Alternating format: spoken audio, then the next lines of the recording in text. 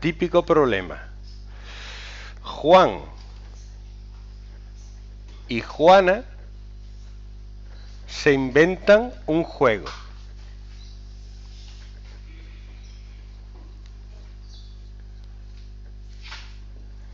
Tiran dos dados y suman sus números.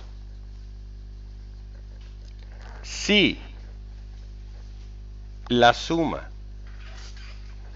es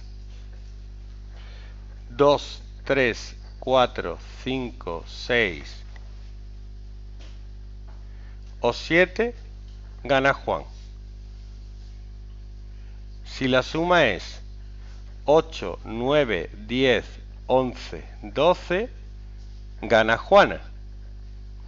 Calcula la probabilidad de que gane Juan y calcula la probabilidad de que gane Juana. Podríamos hacerlo con un árbol, ¿vale? Pero un árbol se nos iría. Entonces, para hacer estos problemas, se hace una tabla de doble entrada. Entonces se pone en una entrada lo que sale en un dado y en la otra entrada lo que sale en el otro dado.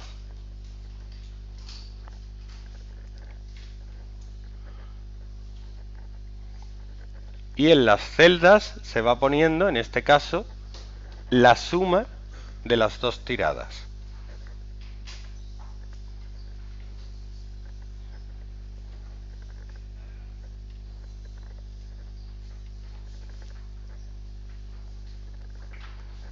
Dos, tres, cuatro, cinco, seis, siete. Tres, cuatro, cinco, seis, siete, ocho. 4, 5, 6, 7, 8, 9. 5, 6, 7, 8, 9, 10. 6, 7, 8, 9, 10, 11. 7, 8, 9, 10, 11, 12.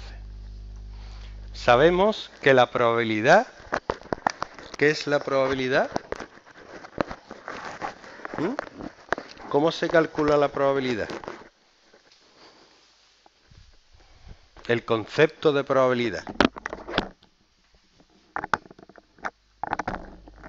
La probabilidad es el número de casos favorables, la probabilidad de un suceso A es el número de casos favorables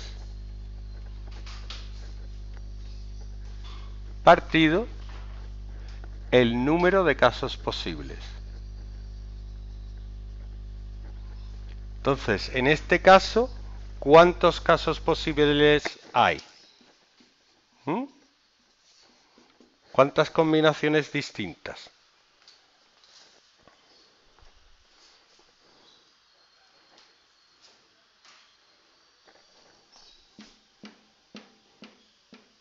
Treinta y seis combinaciones. 1, 1, 1, 2, 1, 3, 1, 4.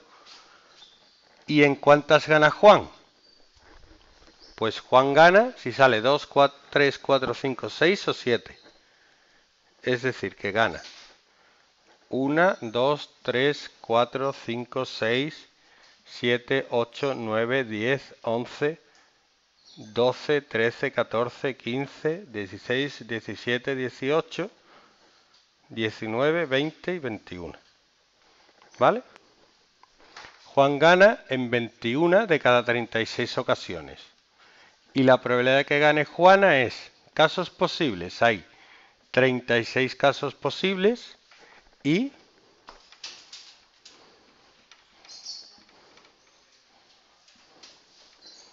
...15 en los que gana Juana. ¿Vale?